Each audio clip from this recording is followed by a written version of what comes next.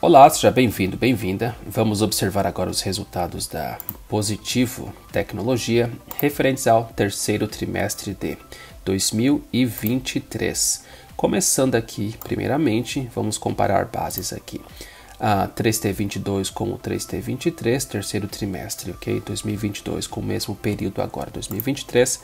Depois faremos aqui a base trimestral, depois faremos os nove meses, alguns indicadores e outros detalhes também. Vamos lá. Margem EBITDA passou de 11,5% para 14,3%, uma alta de 2,8 pontos percentuais. A margem bruta de 21,1% para 27%, um ganho de 5,9 pontos percentuais. E a margem líquida de 4,6% para 3,2%, uma perda aqui de 1,4 pontos percentuais. Receita líquida de 1 bi para 849, uma perda aqui de 20,2%. Lucro bruto 224,6 mi para 229,2, um ganho de 2%, e EBITDA passou de 122,6 mi para 121,5, uma queda de 0,9% e o lucro saiu de 48,7 mil para 27 mil, uma queda de 44,6%. O que nós vemos aqui de positivo, hum, tá bem complicado, né? A gente vê aqui ah, o lucro teve uma variação, aqui o lucro bruto, ok? Teve uma variação positiva aqui de 2%, acaba sendo irrelevante frente às perdas, mas não há muita coisa positiva aqui não, ok? A gente tem aqui a queda de margem, margem líquida passou de 4,6% para 3,2%, perdemos um ponto percentual aqui, 1,4 né, pontos percentuais de margem.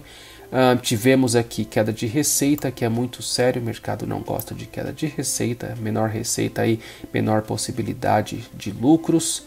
Vejamos aqui também EBITDA, também caiu, uma leve queda, porém caiu, e uma queda aqui bem acentuada de lucro, né? Então, nós não temos aqui muitos pontos positivos, então aqui a variação anual não foi boa. Vamos ver aqui agora 2T23 com o 3T23 para estar um pouquinho melhor, vamos ver ali. Margem EBITDA passou de 12,8 para 14,3, 1,5 pontos percentuais a mais. Margem bruta de 30,5 para 27, uma perda de 3,5 pontos percentuais. E a margem líquida de 2,7% para 3,2, um avanço aqui de 0,5 ponto percentual, um leve ganho. Já a receita líquida 2T23, ok? Segundo trimestre de 2023, passou de 754,5 mil para 849. Muito bom, ganho de receita aqui 12,5%, um ponto bastante favorável e positivo. Lucro bruto 230 mil para 229, uma perda aqui de 0,5%. EBITDA 96,7 mil para 121,5, um ganho de 25,6%. E o lucro saiu de 20 mil para 27 mil, um ganho de 33,5%. Já na base trimestral, nós vemos avanços aqui. Temos pontos bem positivos, temos ganho de receita de 12,5%, temos ganho de EBITDA 25,6% e temos avanço aqui no lucro também. Então vamos ver os nove meses para ver se desempata, né? Aproveitando, se você estiver gostando, por favor, curta o vídeo, deixe o like, isso é muito importante para a relevância dele no YouTube, para os algoritmos encontrarem o vídeo.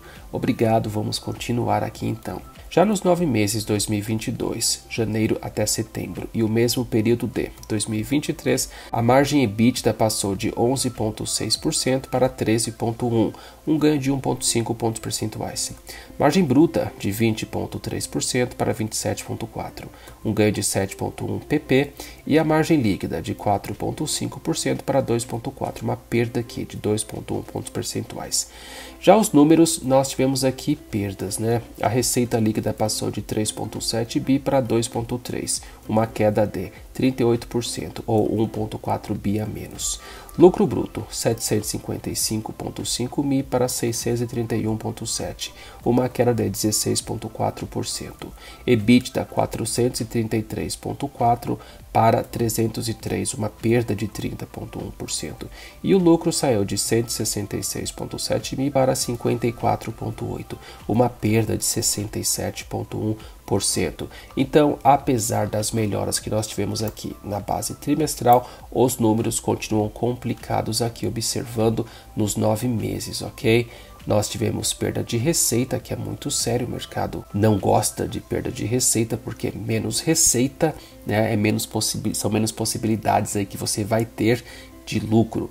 Então os resultados também não foram bons aqui nos nove meses. Vamos torcer para que eles melhorem, ok? Receita líquida, últimos 12 meses, 3,5 bi. Lucro líquido, últimos 12 meses, 191 mil. Felizmente, né, ainda está com lucro aqui, apesar das quedas ali, ela está com números positivos, né? Porém, é importante aumentar a receita ali, o foco no aumento da receita. E a margem líquida, últimos 12 meses, 5,3%. Lucro aqui por ação 3T23, 19 centavos. Últimos nove meses aqui, 2023, janeiro até setembro, 39 centavos de lucro por ação. E nos últimos 12 meses, R$ 1,35. Valor da ação, R$ 7,15, considerado para os cálculos aqui. E o PL está em 5,3. Um PL bom, relativamente bom. Aí eu acho um PL abaixo de 10 bom, abaixo de 5 melhor ainda, né, com a empresa dando lucro. A única questão é que realmente o PL está realmente muito bom, mas a única questão é a queda de receita. Temos que observar a queda de receita e os lucros aumentarem para a gente poder aproveitar esse PL baixo aqui, ok? Já o PVP aqui 0,7, a empresa está descontada. O valor patrimonial por ação está em R$ 10,21, ou seja, estamos pagando aqui R$ 7,15 por uma empresa que, de acordo com o valor patrimonial por ação, vale R$ 10,21. Por que, que está descontado? Porque a empresa vem perdendo receita e vem perdendo lucro, ok? Para que esse desconto aqui passe, né, a, comece a desaparecer, a empresa precisa aumentar a receita e precisa aumentar o lucro. Já o capital social realizado, aqui 2T23 para o 3T23 não teve variação, número de ações também permaneceu o mesmo, valor de mercado 1 bi, dividendos últimos 12 meses 7,2%, resultado financeiro líquido menos 79,3 mil. E a empresa tem o lucro acumulado aqui de 54,8 mil. Alavancagem aqui, então, não está tão alavancada, né? Mas vamos torcer para desalavancar aí um pouquinho mais também para sobrar mais dinheiro, ter menos despesas financeiras aí com a queda da Selic, ela pode impactar bem positivamente isso aqui. Dívida líquida está em 898,4 mil, com o EBITDA 544,5, né? Com o EBITDA subindo, mesmo que a dívida aqui não não caia, mas com o EBITDA subindo já melhora bastante a alavancagem, né? Observando pelo patrimônio líquido, a alavancagem está bem baixa aqui, 0,6, dívida líquida pelo patrimônio líquido. Então vamos ver um pouco dos custos aqui, né? Vamos ver como é que evoluiu aí. No 3T22 para entender, né, para onde é que vai o dinheiro aqui. Então basicamente é para onde é que foi o dinheiro. A receita líquida aqui teve uma queda do 3T22 para o 3T23, queda de 20%. Os custos aqui também caíram, né? Teve uma queda aqui de 26,2%, excelente, né? A empresa conseguiu aí agir de forma rápida para reduzir os custos, porém há outras despesas, né, que nem sempre a gente consegue de forma tão rápida eliminar, né, ou reduzir. Então a gente vê aqui que houve redução de custos, muito bom, ajuda a compensar aí se os custos tivessem subido, né, teria sido aí muito ruim com os custos subindo, com a receita caindo, porém ela conseguiu reduzir aqui os custos de bens e serviços, ok? Reduziu 220 mil, proporção aí bem próxima aí do, da receita, então isso é um fator que ajudou realmente a salvar aí o lucro da empresa.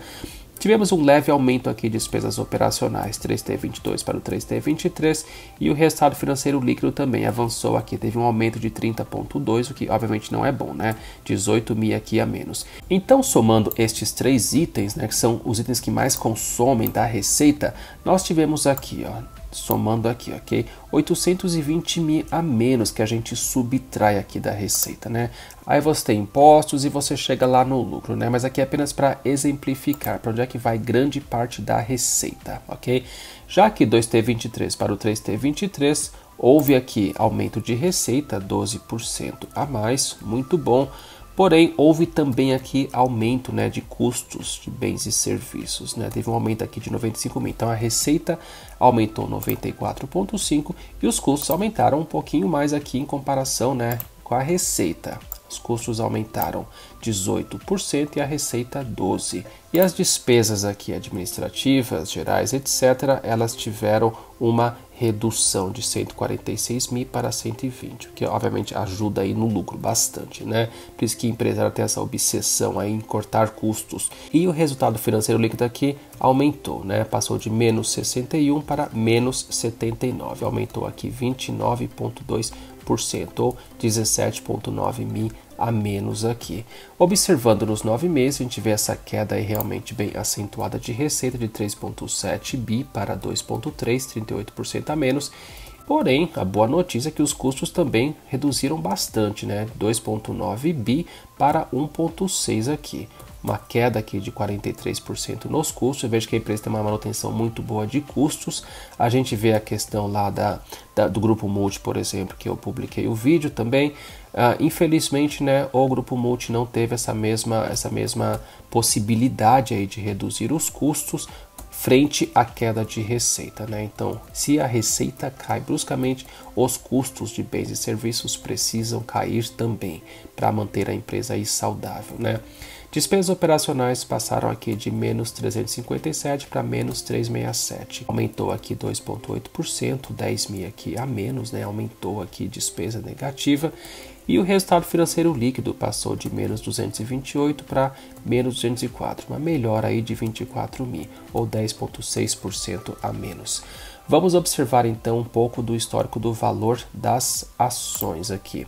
Ela começou o ano valendo R$ 8,82, com base na última cotação R$ 7,15, a uma perda de R$ 1,67 ou 18,9% a menos. Já observando um ano atrás, ela valia R$ 9,21, com base na última cotação R$ 7,15, a uma perda de R$ 2,06 por ação ou menos 22%. 0,4. Observando aqui pelo gráfico, vemos aqui no começo do ano, ela cotada nos R$ 8,00 lá, 82 centavos. Ela caiu aqui, muitas empresas caíram aqui no primeiro trimestre e passaram a subir a partir de abril na expectativa aí da queda da Selic. Né? Ela subiu, desceu aqui, subiu mais, porém os resultados aqui, eles realmente são o que mais estão impactando né? o movimento das ações. A questão aí da receita já mencionada, a queda de lucro, tudo isso vem impactando muito negativamente a empresa. Vamos ver também um pouco dos números aqui do histórico, fica mais fácil entender onde é que nós estamos e para onde é que nós estamos indo. Vamos por aqui por semestres. Vamos ver aqui um pouco do semestre. Não está fechado ainda aqui o segundo semestre de 2023, então vamos observar aqui o primeiro semestre 2023 com o segundo semestre 2022. A gente vê a perda aqui de receita, uma perda muito acentuada de receita e também consequência aí, né, do lucro, a margem baixíssima, mas comparando o semestre igual com semestre igual aqui, um S22 com um S23 Saiu aqui, a gente vê bem nitidamente, né? Estava com uma receita de 2.6 bi e passou para 1.4, né? Vamos pelos anos bem nitidamente para entender o que, que está acontecendo. A Positivo teve um aumento bastante expressivo ali também. A gente vê pelo gráfico aqui, ela teve um aumento bastante expressivo aqui em 2022, a partir do segundo semestre. Vamos ver o que aconteceu ali, se justificou tudo isso. 2022 ela teve receita aqui de 4.9 bi, a receita aumentou bastante e o lucro passou para 303, comparando com 2021, ok? Houve um ganho aqui de 48% de receita e 51% de lucro, por isso que ela subiu tanto em 2022, observando pelo gráfico, é muito importante correlacionar aí o gráfico com os números, porém, né, depois ela passou a cair, já antecipando aí 2023, ela passou a cair bastante. A gente vê que a queda de receita realmente, vamos lá pelo semestre de novo, a gente vê que a queda de receita é um fator bastante impactante, né? Primeiro semestre aqui, a gente vê que do segundo semestre de 2021 a receita estava em 1,9 bi e com aquele aumento expressivo de receita, as ações deram aquela galopada, né? Em 2021 aqui, antes da pandemia, vamos verificar também como é que estava aqui a partir do primeiro trimestre de 2021 até aqui quando a Selic já estava aumentando bastante, né? A Selic começou a aumentar aqui no começo do ano, a partir de março, abril, a Selic passou a aumentar, muitas empresas tiveram altas bem expressivas né, até o meio do ano 2021. E aí foi só para baixo, né? Foi realmente muito terrível, segundo semestre de 2021. Vamos ver como estavam os números ali então. Vamos lá. A receita estava aqui em 1.3 bi no segundo semestre 2020, aumentou para 1.4 aqui no primeiro semestre 2021 e passou aqui para 1.9, né? Mas aqui do primeiro semestre para o segundo a Selic já começou a aumentar. A gente já vê queda de margem aqui, importantíssimo ficar de olho em queda de margem, né? Ver a margem caindo, apesar da receita subindo, a margem vai caindo porque o lucro vai reduzindo e a resposta do mercado vem chegando, né? As ações começam a cair, obviamente né? A Selic impactando bastante, porém é importante observar que ela já havia subido muito aqui, né? A partir do mês 3 até aqui o mês 6, a ação havia saído de R$ 4,00 para R$ 14,00, né? Então é muito importante aí todo mundo ficar de olho no que, no que está acontecendo, porque às vezes a gente tem essa tendência aí, né, de, de, ir pelas emoções, de fazer o que todo, que todo mundo está fazendo e criar bolhas, né, porque isso aqui é uma alta muito expressiva, sai daqui do mês 3 de 2021 aqui para o mês 6 de 2021, isso realmente aí é bem frenético, né, é importante tomar cuidado com estas altas muito expressivas, a gente fica preso às vezes nelas, né. Bom, é isso que eu tenho para falar em relação a positivo. Se você gostar, por favor, curta o vídeo, deixe o like, inscreva-se no canal. Desejo muita boa sorte para você, para positivo e até a próxima.